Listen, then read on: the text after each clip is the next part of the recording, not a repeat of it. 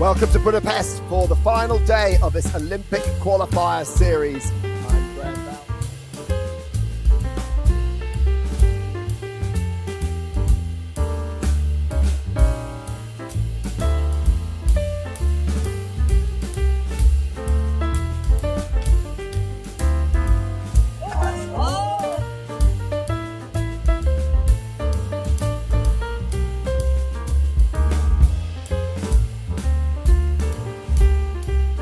Hello，大家好，这里是周火星，看奥运人物志，了解更多背后故事。让我们走进今天故事的主角，年仅十一岁的小孩姐郑好好。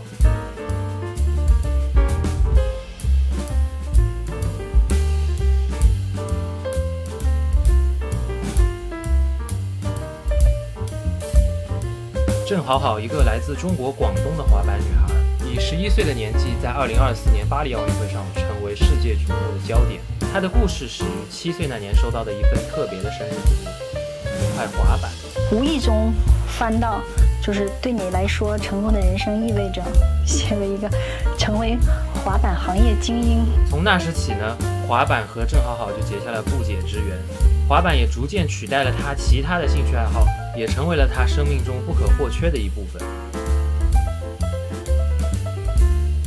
郑好好的天赋很快就在滑板界显现出来，在十四届全运会滑板项目资格赛上，他以第十三名的成绩成为了人们关注的新星。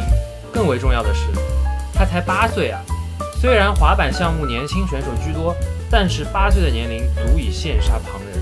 随后，他在国内的滑板比赛中屡创佳绩，成为了国内滑板的顶尖选手。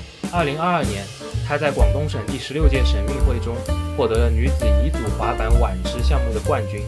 二零二三年六月，在中国滑板公开赛碗池项目中，他以三十点二七分获得金牌。二零二三年八月，在全国轮滑锦标赛女子碗池项目中，郑好好再次以三十点二七分获得第一名。二零二四年巴黎奥运会资格赛，在布达佩斯的比赛中，首轮获得六十三点四九分，第二轮出现失误，仅拿到了四十三点八四分。在最后一轮中，面对必须拿到六十七点三四分以上的压力，他发挥出色，得到了七十二点六分，成功晋级了奥运会。出来，当时真的很激动。这一成绩让他成为了中国代表团二零二四巴黎奥运会最年轻的运动员，没有之一。现在他正在巴黎的协和广场上为国出征，不管成绩最后如何，能够站上奥运会舞台，已然是这位年仅十一岁的小孩姐留给世界最璀璨的身影。在体育运动的世界里，年龄界限。十一岁的郑好好用他的滑板故事告诉我们：年轻就是要敢于挑战，敢于超越。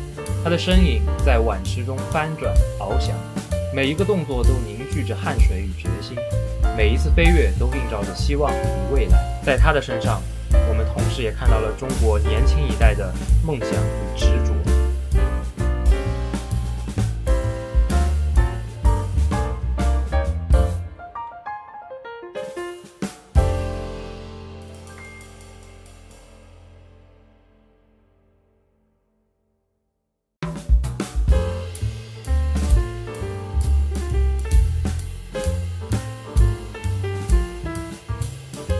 好了，以上就是本期节目的全部内容了，感谢您收看本期奥运人物志，欢迎关注周火星的奥运频道。